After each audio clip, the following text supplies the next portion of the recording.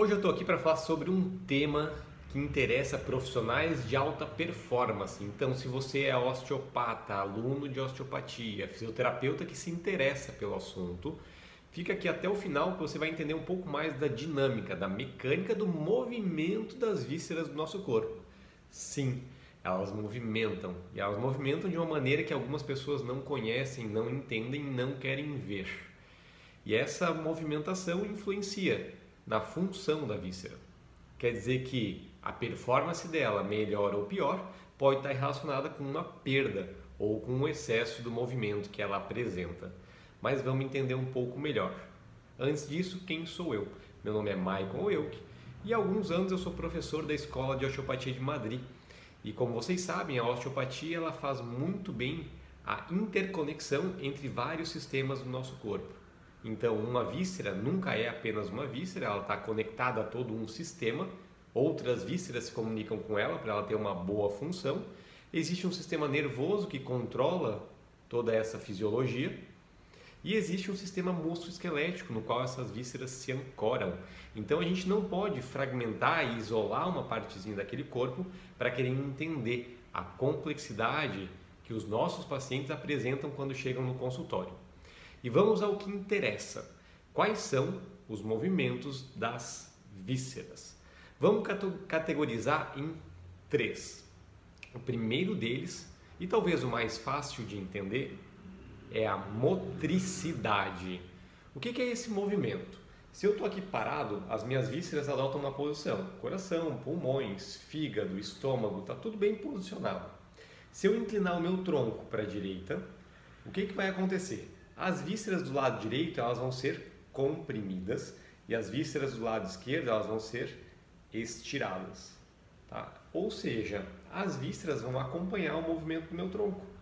Assim, quando eu faço uma flexão, as vísceras da região abdominal tendem a descer e se tornar mais anteriores. Se eu faço uma extensão do tronco, a minha coluna torácica vai estender e naturalmente existe um acoplamento das fáscias dessa região dorsal com a própria pleura pulmonar.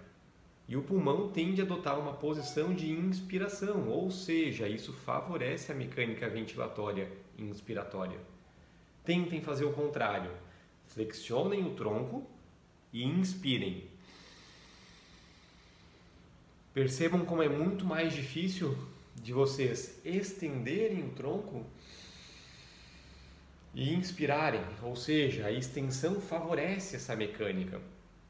Primeiro, movimento das vísceras, motricidade. E agora a gente já pode entender que existe um segundo tipo de movimento, que é a mobilidade.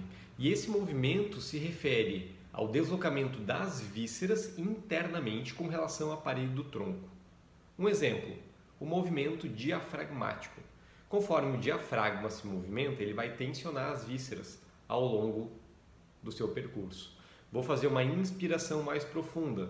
O meu centro tendíneo diafragma está bem na região central, centro frênico, ele começa a descer. E conforme ele desce, ele empurra todas as vísceras que estão abaixo dele num sentido mais caudal, até que ele se apoia nessas vísceras para ter a sequência do seu movimento de abertura lateral das costelas. Então ele vai comprimir as vísceras abdominais e ele vai aumentar os diâmetros torácicos tanto vertical quanto laterolateral. E o externo contribui para esse aumento antero-posterior. Então, naturalmente, as vísceras elas vão movimentar, elas vão deslizar com relação à parede do nosso tronco internamente.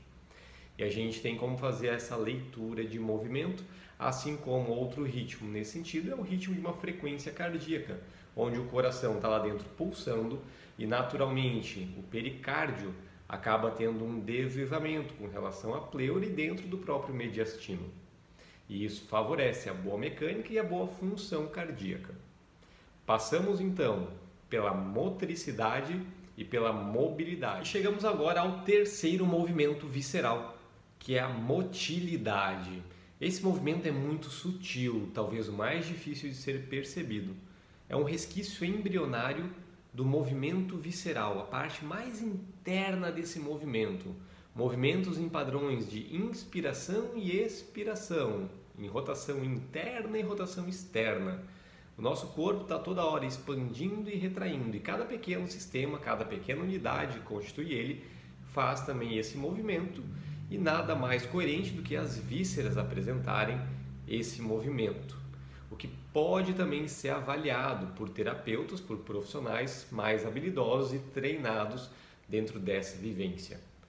Então, temos um grande movimento relacionado ao tronco, que é a motricidade temos a mobilidade relacionada ao ritmo respiratório diafragmático, por exemplo, e temos a motilidade, que é o movimento intrínseco da víscera relacionado a um resquício embrionário da sua mobilidade.